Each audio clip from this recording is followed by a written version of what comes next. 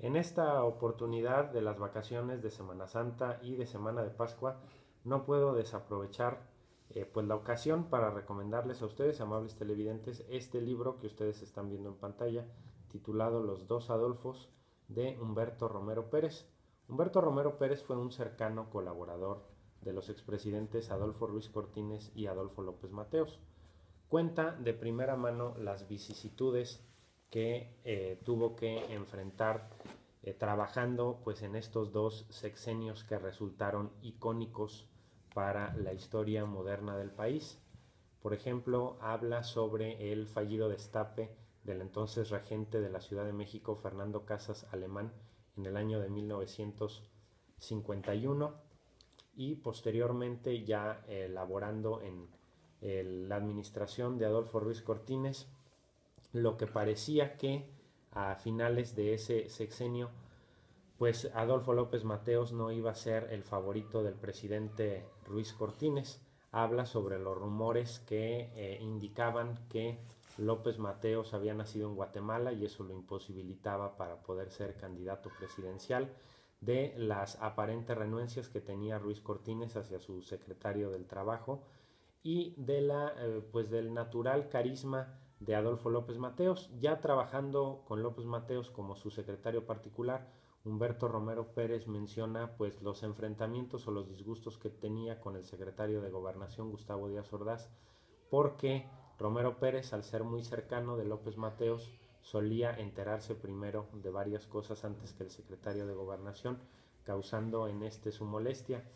Habla también, eh, por supuesto, pues de los problemas de salud que enfrentó don Adolfo durante su administración y eh, también pues de su gusto por eh, los viajes y por las mujeres. Cuenta, por ejemplo, una anécdota muy simpática durante la visita del presidente de los Estados Unidos, John F. Kennedy, hacia nuestro país, eh, estando en una cena en la Ciudad de México, eh, el presidente Kennedy le dijo a López Mateos que tenía un reloj muy bonito. López Mateos se quitó el reloj y se lo regaló. Posteriormente, López Mateos le dijo al presidente Kennedy que qué hermosa estaba su mujer, eh, Jackie, Jacqueline Kennedy, a lo que el presidente de los Estados Unidos pues comprendió y terminó por regresarle el reloj que le había regalado López Mateos. También Humberto Romero habla sobre eh, pues de manera muy breve sobre eh, la relación, digamos, distante que tuvo con uno de los cercanos amigos del presidente López Mateos, Justo Sierra Casasus. Justo Sierra Casasus escribió también un libro sobre López Mateos titulado así, López Mateos, alrededor de hace 40 años. También es un libro interesante. Justo Sierra Casasus eh, fue nieto de don Justo Sierra Méndez, aquel personaje que fue secretario de Instrucción Pública durante la, presidencia de don Porfirio Díaz. Y bueno, pues tuvo una biografía muy importante. Justo Sierra Casasus, nada más para que se den una idea, fue bautizado en Biarritz, en París, por don Porfirio Díaz y doña Carmelita Romero Rubio.